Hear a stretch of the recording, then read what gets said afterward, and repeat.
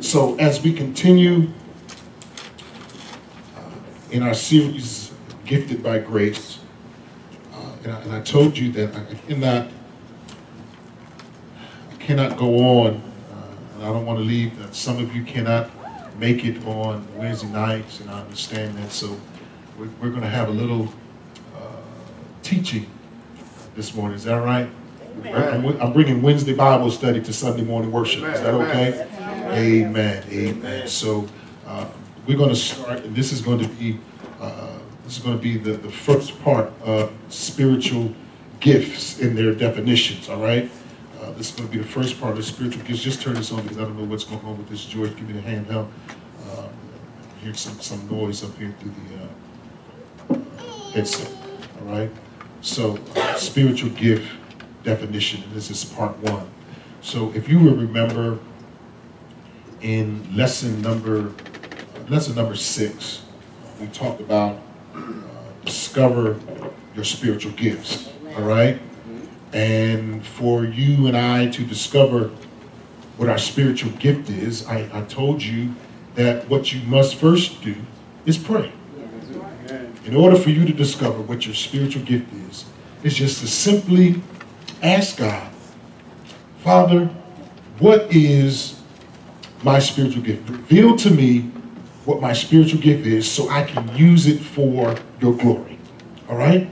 So the first thing you got to ask yourself is, you know, okay, what's my gift? And then pray and ask the Lord, reveal to me what my gift is. Now, here, here, I want you to understand, beloved, that don't you dare think that you are not gifted in some area in your life. Each and every one of us that are in the body of Christ, every person that is a part of the body of Christ has a spiritual gift. All right? When, listen, when God created you, when God created you, he placed within you and he equipped you with exactly what you needed to fulfill the mission that he has for you for the kingdom of God.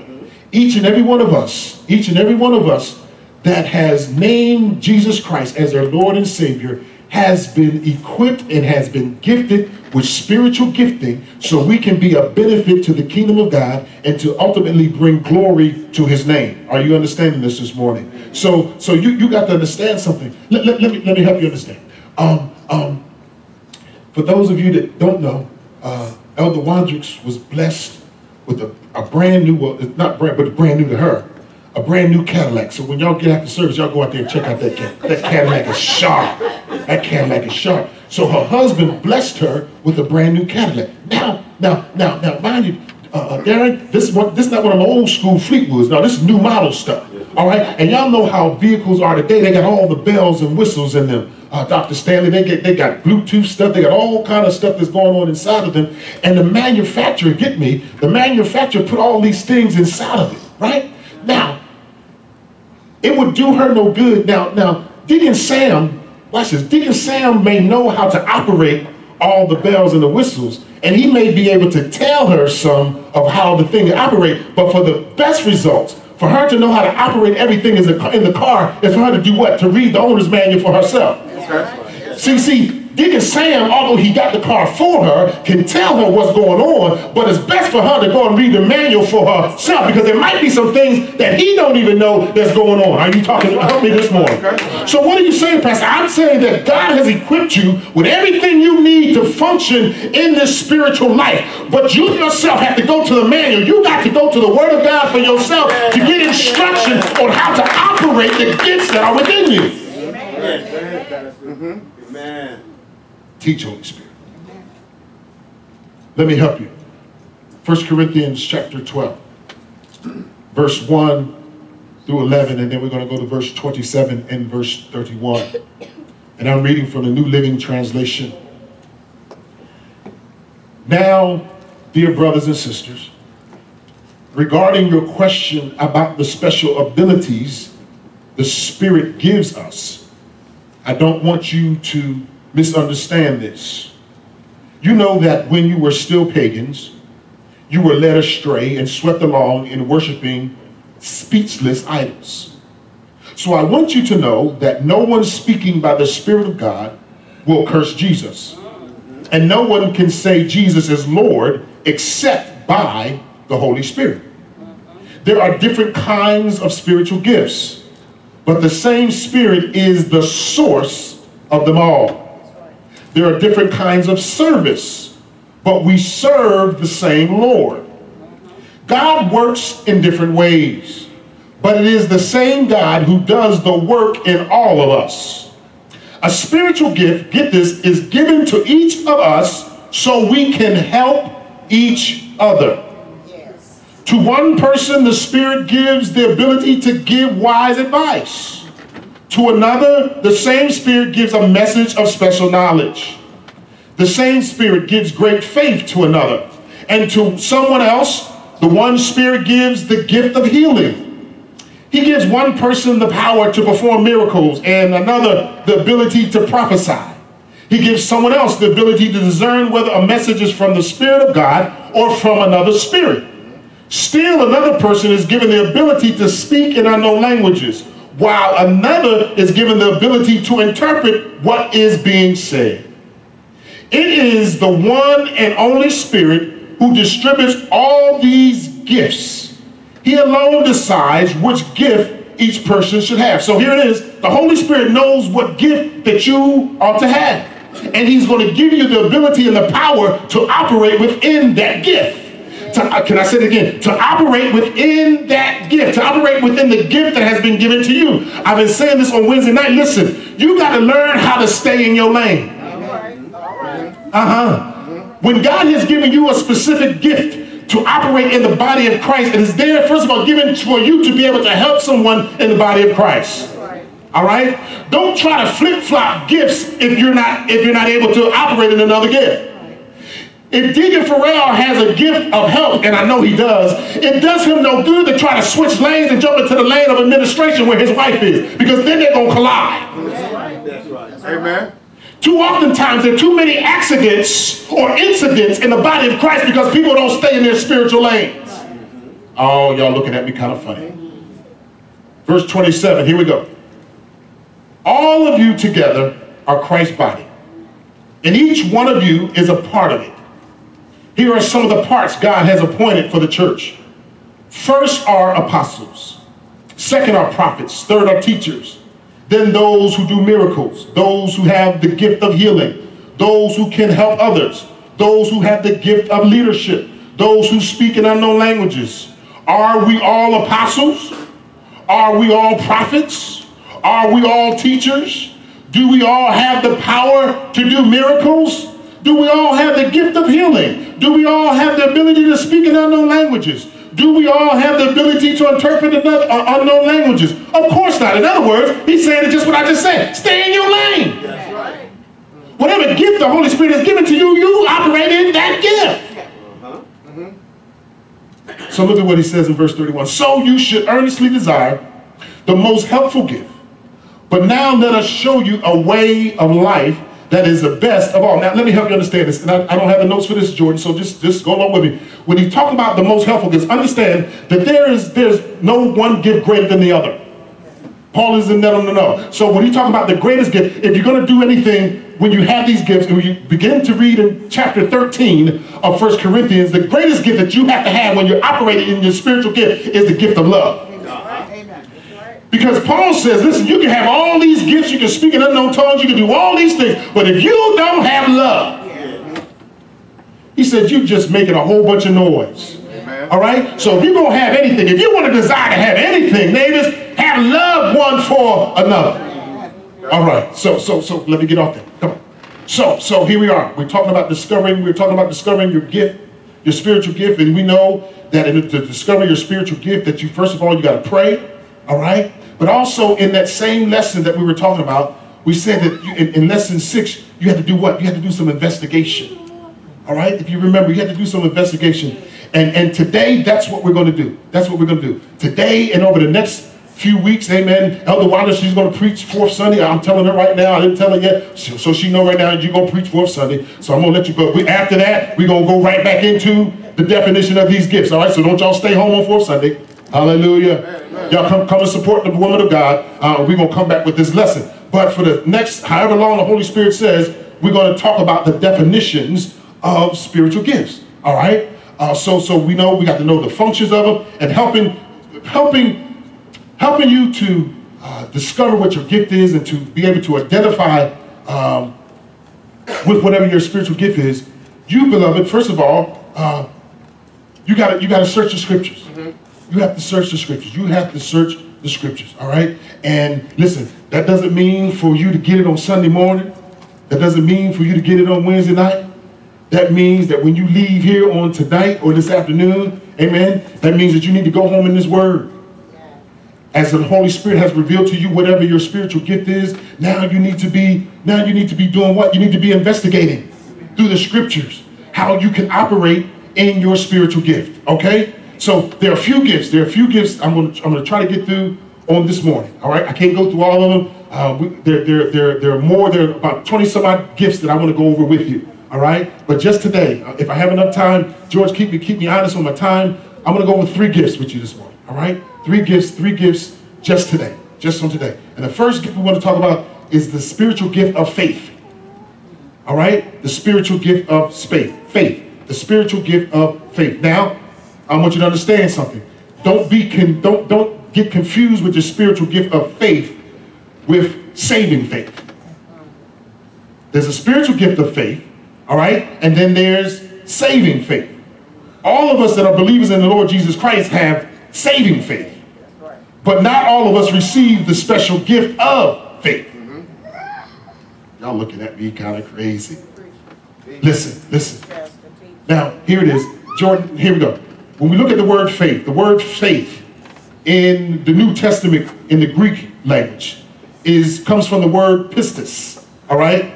It, carries the, the, the notation of confidence, a certainty, a trust, and an assurance in the object of faith. All right. So when we look at when we look at first of all when we look at let me help you understand what the saving faith is in Ephesians chapter two, verse eight and nine. All right. Ephesians chapter two, verse eight and nine. For by grace you have been saved, what? Through faith. And that not of yourself, it is the gift of God, not of works, lest anyone should boast. So that is your saving faith. All right? You believe in Christ, you come and you're saved, what? Through faith.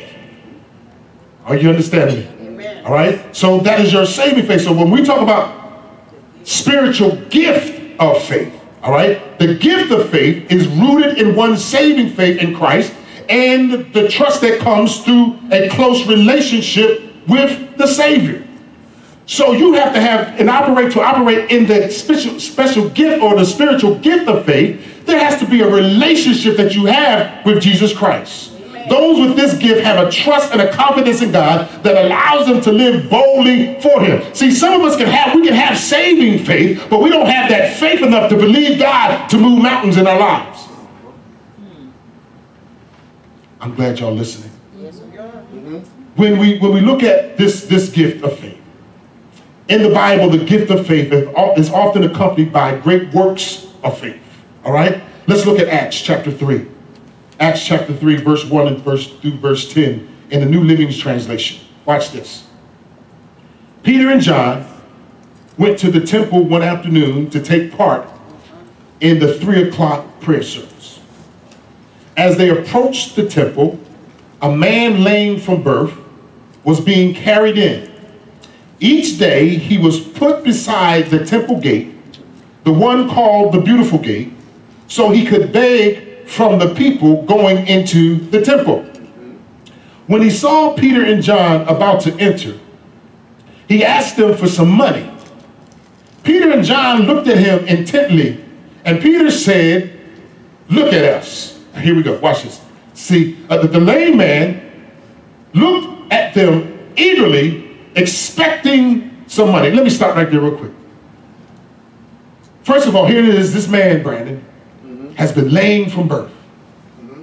And people have been bringing him just to the gate of the temple and not taking him inside the temple. Mm-hmm. Isn't it something how you and I can come inside the house and get the healing that we need, but we won't bring nobody else inside to get the healing that they need? Wow. Wow. I don't know about you, but I don't want nobody in my life that's going to leave me on the outside while they go on the inside and get what they need. If you get what you need, bring bring me with you so I can get what you get. Amen, somebody. Because if you can walk healed, set free, and delivered, I want to walk healed, set free, and delivered. Amen. Amen. So watch this, watch this, watch this. Really, that means I need to connect myself with some people that love God as much as they love me and want, want the best for my life. Talk to me, somebody. Yes. Yes. See, oh, oh my gosh. See, because you, you got to be careful. And I said this before, and I say it again. I said you got to be careful mm-hmm. who you allow to wear the tag of friend. Mm. Amen. Amen. Mm-hmm. Uh, I, I, I was sharing. I was sharing. I was sharing with Brandon just the other day how how uh, I take time periodically to do a purging in my cell phone. What are you talking about, Pastor? Uh, uh, most of our, our phones, these smartphones, Deacon Farrell, they operate quicker when you don't have a lot of stuff interfering with the megabytes. Right. Uh-huh. It slows them down. So you got a lot of apps and all this other stuff that slows them down. But the more thing, the more, uh, well, what slows them down mostly if you begin to look at your contact information.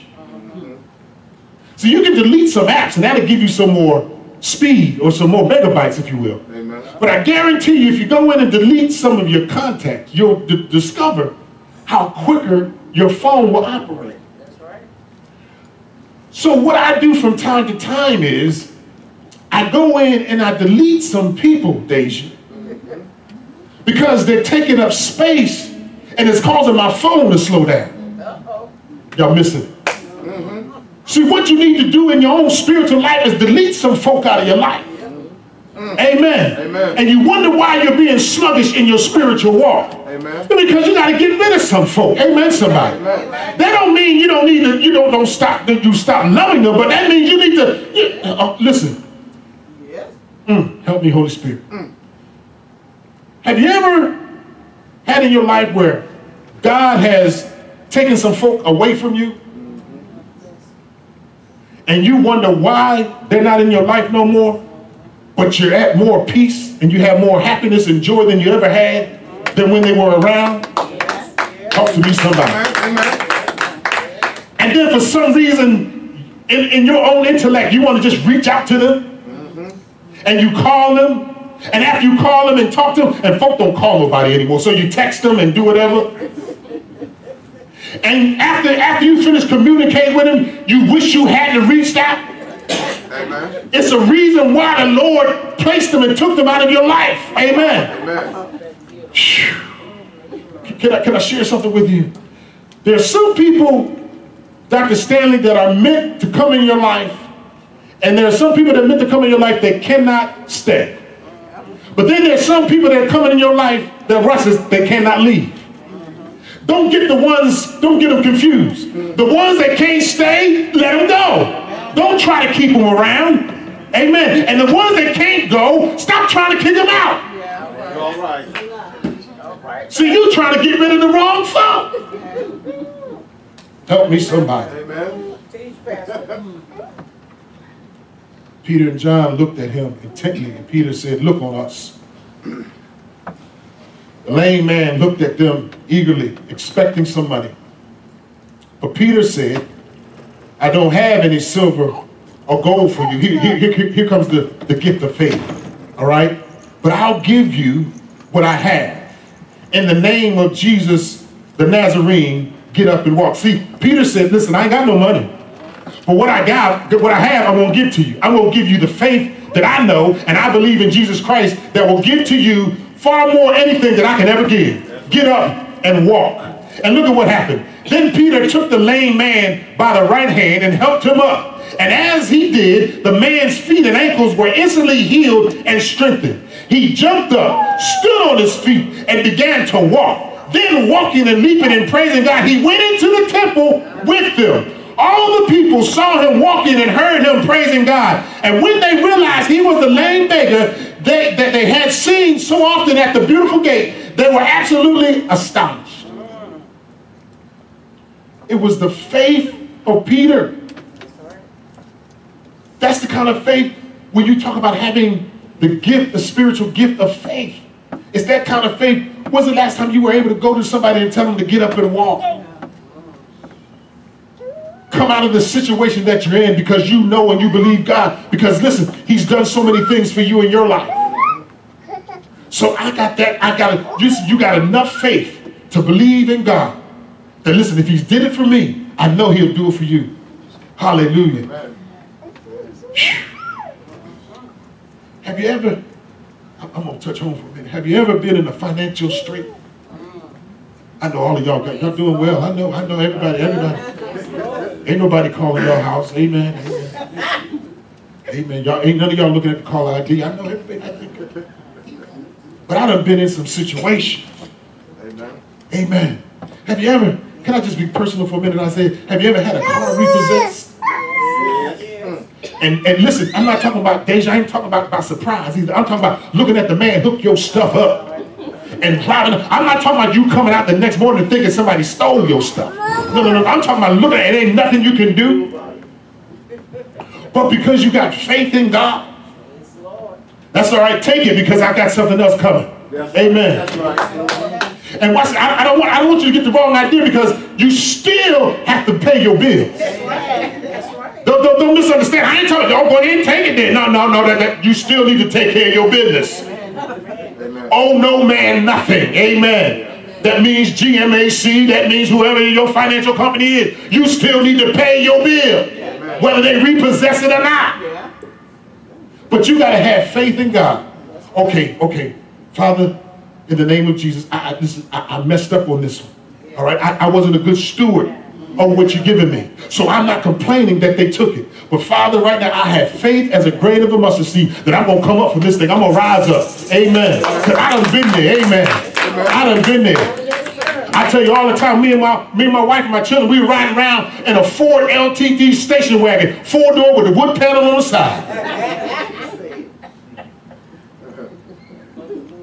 After, after getting out something brand new, but it's okay. It's all right. Because I've learned and you ought to learn and I have faith. That's why I can tell anybody, listen, if you just trust in God, be faithful, be faithful, be faithful, Yes, yes. and he certainly will bless you. Amen. Amen. The Holy Spirit, let me let me finish it. The Holy Spirit distributes this gift of faith to some in the church to encourage, get this, and build up the church in her confidence in God. Those with the spiritual gift of faith trust God, trust that God is sovereign and that He is good. They take Him at His word and put all the full weight of their lives in His hand. They expect God to move and are not surprised when He answers a prayer uh, or performs a miracle. Amen. That's what's having the spiritual gift of faith is. All right? So those of you that have that spiritual gift of, gift of faith, I mean, you need to start operating in it. Amen. Start encouraging others in the body of Christ to have confidence in God. If you got confidence in Him, if you know He will do for you what no other can do, then share that gift with your brothers and sisters in Christ. All right? I I'm teaching this morning. I'm teaching. Amen. I'm teaching. All right? All right. So spiritual gift of faith. The next one. The next one is serving or ministering. Serving or ministering. I- I- This gift, this gift is prevalent in the body. This gift is prevalent. Deacon Farrell, uh, Brother Brandon. Oh man, you talk about servers and helpers. I'm gonna show you what it means. I'm gonna show you what the spiritual gift of serving or ministry covers a wide range of activities in its application. Now, when you look at this this this this word, there are two Greek words for this gift. All right, uh, and, and the reason I listen, the reason why I'm giving you the Greek definition because it is not always the same in our English language. All right, so you need to know what the word actually means from its original text. All right, so in the Hebrew language, we understand that we are, excuse me, from the Old Testament scripture, we're looking at the Hebrew language. All right, in New Testament scripture, we're looking at Greek language. All right, so I'm going to give you the Greek enunciation and its definition. All right, I don't speak Greek. So don't y'all get mad at me if I pronounce, enunciate these words not in its correct enunciation. Dr. Stanley gonna help me out. She's the English professor. Hallelujah. So, uh, the first word that's found uh, when we talk about uh, serving uh, or ministering is uh, diakonana. You got that? Y'all see it up there? It's on the screen. Amen. Bless the Lord. Hallelujah. Thank God for met, uh, modern technology. And the basic meaning for this word, beloved, is to wait on tables. All right, to wait on tables. And it refers to any act of service done in genuine love for the edification of the community. All right? So when we look at Romans chapter 12, verse 6 and verse 7 in the New Living Translation, the Word of God reads, In His grace, God has given us different gifts for doing certain things well. So if God has given you the ability to prophesy, speak out with as much faith as God has given you. If your gift is serving others, hear this, serve them well. If you are a teacher, teach them well. But y'all see this? If your gift is serving others, do what? Serve them what? Serve them well. Serve them well. The second word, uh, or this Greek word for uh, service or ministering, it comes from the word uh, uh, or, or, or. Are we there? Yes, yes. A-. And it gives us the word of helps or helping. All right? It's, it's, it has a similar meaning uh, as uh, the first Greek word, but to help or to aid in love within the community. In 1 Corinthians chapter 12, in verse 28, again from the New Living Translation. Here are some of the parts God has appointed for the church. First are apostles, second are prophets, third are teachers, then those who do miracles, those who, get, who, who have the gift of healing, those who can what? Help others, those who have the gift of leadership, those who speak in unknown tongues. All right? Now, those that have the gift of, of serving or, or ministry, all right, the Holy Spirit endows some believers with this gift to fill the many gaps of ministry and to meet the needs of the church as it is as it is to fulfill its great commission. And the goal is to energize the church and free up others to use their gift to the fullest. So those that have uh, the gift of serving or ministering, all right, um, we know that they, they are uh, those that help and they help to free up those of us that are doing work for the kingdom of God. Let me show you what I'm talking about. In Acts chapter 6, verse 1 through verse 7. All right? Acts chapter 6, verse 1 through verse 7. From New Living Translation. But as the believers rapidly multiplied, there were rumblings of discontent. The Greek speaking believers complained about the Hebrew speaking believers, saying that their widows were being discriminated against in the daily distribution of food. So the 12 called a meeting of all the believers. They said, We apostles should spend our time teaching the word of God, not running a food program. And so, brothers, select seven men who are well respected and are full of the spirit and wisdom. We will give them this responsibility. All right? So here it is. The apostles are saying, listen, our job is to minister the word of God. Okay? So those, you need to pick out some people that can take care of this business, all right, that's in the body of Christ, because they're going to help those that are in need, but they're also helping us so we can continue to do the work of the kingdom of God. Yes. All right? So that's why, let me stop here for a minute. So that's why I depend on a brother Brandon. That's why I depend on a deacon Richard Farrell. That's why I depend on a, a deacon Sam Wanders because of their gifting of help, because they free me up to do what I need to do, which is to minister, to teach, and to preach the word of God. And can I just say this? When they do it, they don't do it with no grumbling. If you're going to operate in your spiritual gift, first of all, stop complaining. That's right. That's right. That's right. Amen. Don't complain. Whenever I call one of these brothers, Pastor, no problem, we got it done. That's right. Amen. If I call one and he can't do it, he'll call another. If he can't do it, they'll call, and they'll work it out together. So what? I can continue to do what I'm supposed to be doing. That's right. That's right. Amen. This ha- listen, it don't, that don't mean brother, brother Brandon, brother Brandon. He don't wear no title. Amen. Amen. He just brother Brandon. I don't even have to call him deacon. He just who? He's a servant. That's right. Amen. Sam, a servant, ministering service and helps to the body of Christ. Oh, Amen. Amen. Amen. I, I'm trying to move on, catching me with my time. I said this on Wednesday night. We, as a community and a black community, especially in our black churches, we are the ones, I believe, we have an identity crisis. Yep. Yep. We are the only ones, I believe. I believe, listen, if we ain't called with a title, we just won't do nothing. Amen, somebody. Amen. I shared this story. I shared this story. I was having a conversation with a gentleman, uh, uh, and, and I, I didn't know who he was. I was having a conversation with a gentleman, and we were talking spiritual things. And I thought he was a pastor just like I was a pastor. So after we got finished talking, he got finished sharing with me what he wanted to share with me. He, he began to walk off. But then I thought about what he said, so I had some more questions. I said, Pastor, Pastor, he kept on walking. He kept on walking. Later on in that day, I found out that he was a bishop. So you're not going to answer me because I call pastor and not bishop. I'm not trying to discredit who you are, but why do we always get hung? Could I just say, hey, brother? Maybe he would have turned around. We get hung up on titles throughout the history of the black community church. First we were reverends. Now we got away from reverends. Now we're bishops. Don't, don't, don't, don't, don't misunderstand me. Those of you that are watching, I'm not trying to discredit your office and your ability in the body of Christ, but we are so hung up on titles, it's ridiculous. That's right. That's Amen. right. Now, if you're not bishop, you want to be called an apostle. Whatever we happen to call a child of God. Right. Amen.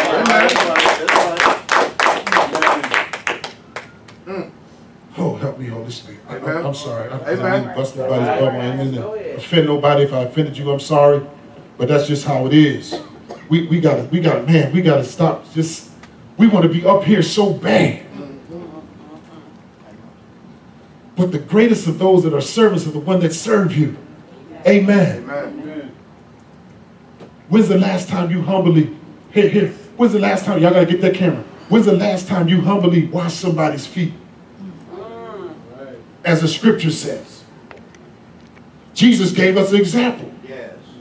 But we always want somebody to do something for us, James, but we don't want to do nobody, nothing for the body of Christ. That's right. If you're going to operate in this spiritual gifting of help, that's what you have to do. You have to do it in love Yes. and earnestly. Yes. And any of the gifts, you have to first of all do them and operate it in the spirit of love. Mhm.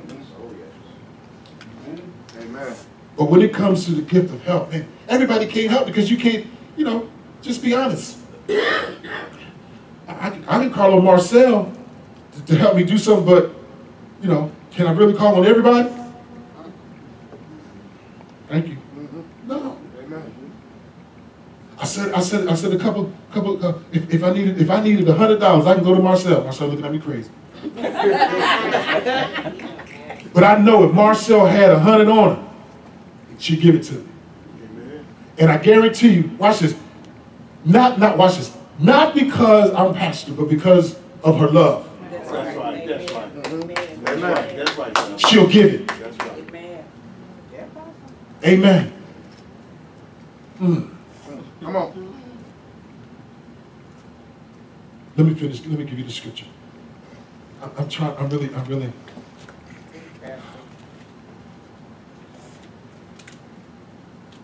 In verse number five, everyone liked this idea, and they chose the following Stephen, a man full of faith and the Holy Spirit, Philip, uh, Mercurius, Nicanor, Timian, Parmenius, Nicholas of Antioch, an earlier convert to the Jewish faith. These seven were presented to the apostles who prayed for them as they laid their hands on them. So God's message continued to spread. The number of believers greatly increased in Jerusalem, and many of the Jewish priests were converted. Uh, they were converted too. And all this took place. Why? Because of these seven men that were chosen out to help the apostles so they can continue to do the work of the ministry by teaching and preaching the gospel of Jesus Christ. And they stepped in to help out with the situation that was going on in the body. Amen. Amen. Those with the gift of serving or ministry, they do not seek recognition or position in the spotlight. They just love to help. They are content with serving in the background, knowing that their contribution will bless the church, display the love of Christ to the world, and bring glory to God. How many of you in the body have the gift of helps this morning? All right, the last one, and I promise I'm, I'm going to be for this gift of administration. Gift of administration, all right? Gift of administration. Uh, this word, this Greek word of the spiritual gift of administration, uh, it's, it's pronounced Kubar Nis, Nises. Woo! Help me, Lord. That's that's my limited uh, enunciation of the Greek word. I'm not going. I'm not even going to try to fake it. But what it is, it, it is the unique term that refers to a shipmaster or captain. All right. It literally means to steer or to rule or to govern. All right. So this this gift of administration it carries the idea of someone who guides and directs a group of people toward a goal or, defini- or, or destination. Everybody can't be an administrator. All right. Amen. Amen. Amen. For someone to be, for you to have and to operate in the spiritual gift of administration, you have to be well organized. Yes, right. Amen. You have to be well organized. I thank God. I hope you're still watching Deaconess Farrell. She is the epitome of an administrator. Amen. Deaconess Farrell is the epitome of an administrator. Amen. Amen. I will say it again. I will say it until the cows come home. Deaconess Farrell is the epitome of an administrator. When you talk about organizing, when you talk about making sure things, every, all the all the I's are dotted, all the T's are, does that? She's not always perfect. Don't get me wrong, but she operates in that spiritual gifting of administration. Right. Amen. A lot of things that take place in the body, that, here- here it is. she also helps me because a lot of things that, that goes on, I don't have to worry about because she has a gift that operates in administration. By the time it's all said and done, when she comes and lets me know, all right, this all already went down, already went down, Pastor, but it's already taken care of. Amen. Amen. It's all right. Blessed to you. Man, it, see, because some of you that have been with me for 16 years, you know that if I say, watch this, James, if I say I want something done, I mean I wanted it done last week. Amen. Amen. Amen. He knows. Okay, she's done. He knows. If I say I want something done, I'm not saying it like tomorrow. He knows. I've, I've already wanted it done. All right? So everybody can't be an administrator, especially when you have someone like me. Amen. Amen. But when you operate in that gift of love and we're working together right. for the kingdom of God, Yes. Amen. It all works out. It all works out. Let me give you this last scripture. Luke chapter 14, verse 28 through 30, from the New Living Translation. But don't begin until you count the cost. Watch this. For who would begin construction of a building without first calculating the cost to see if there is enough money to finish it?